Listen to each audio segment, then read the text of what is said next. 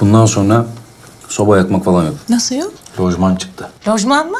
Baba lacman ne? Annem lojman 24 saat kesintisiz sıcak su lojman kaloriferli ev. Yeni depo şefimiz Uğur. Hoş geldin kardeş. Hoş bulduk. Sinan bak bu Burak. Güzel güzel oynayın. Sakın kavga etmeyin. Sen kimsin? Hamit. Hamit mi? Hamit'ten ne istediniz ya? Uğur lojmanı ne zaman görmeye gideriz? Ne aceleniz var canım? Dedem dedi ki akşam meyhanede olacaklarmış. Biz geldik. O karne bir zayıf gelsin biliyorum ben sana ne yapacağımı.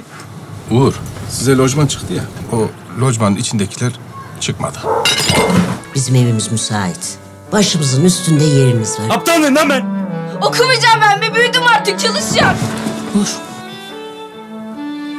Bir saniye. Adımımı bir saniye erken atsam Baba tavşanlar gitmiş. Bunlar gezmeye gitmiş kızım ağlamasın. Oğlan daha ilkokulda şimdiden üçüncü okulu. Kız desen kim bilir nerede başlayacak. Yakaladım lan sizi. Ne yapıyorsun burada? Hepinizi yakalayacağım. Şefraylarda yürüyeyim ne olur. Olmaz. Raylar çok tehlikeli.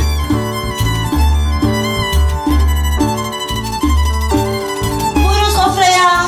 Kızım doymadın doyamıyorum bu çocuğa. Bir dünya haline gelmiştir dedi. Ya Zeki Müren ölmüş. Zeki Müren Tıp Fakültesi kalbi Demirden korksaydık trene binmezdik oğlum. Tırsan varsa hemen uzasın. Kız sokma üniformaya.